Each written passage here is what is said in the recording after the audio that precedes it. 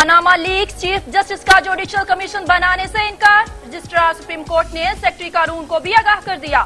Chief justice Anwar Zaheer Jamali کہتے ہیں، تمام فریقین کا ٹی او آر پر اتفاق اور مناسب قانون سازی تک کمیشن نہیں بن سکتا۔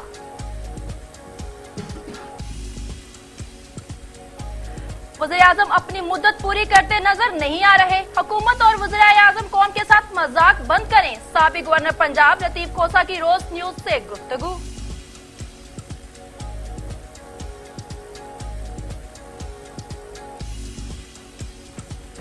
پیپلز پارٹی کے رہنما راجہ ریاض نے پی ٹی آئی میں شمولیت کا اعلان کر دیا۔ کہتے ہیں، باقاعدہ اعلان فیصلہ آباد جلسے میں کروں گا۔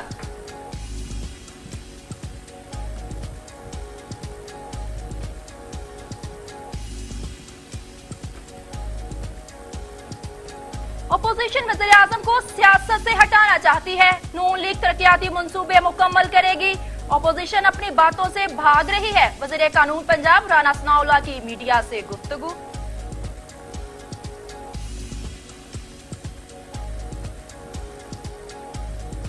وزیر اعظم کی ارباب وسیم کو پی کے آٹھ کے الیکشن میں جیت پر مبارکباد۔ کہتے ہیں پشاور کی باش اور عوام نے منفی سیاست کو مسترد کر دیا۔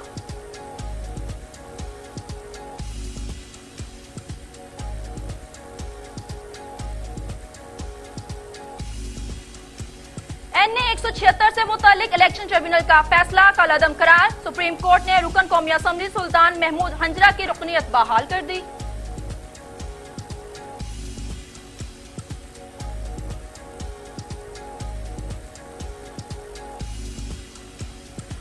پشاور میں حلقہ پی کے آٹھ میں ضمنی انتخابات، دوبارہ گنتی پر مسلم لیگ نون کے امیدوار کامیاب۔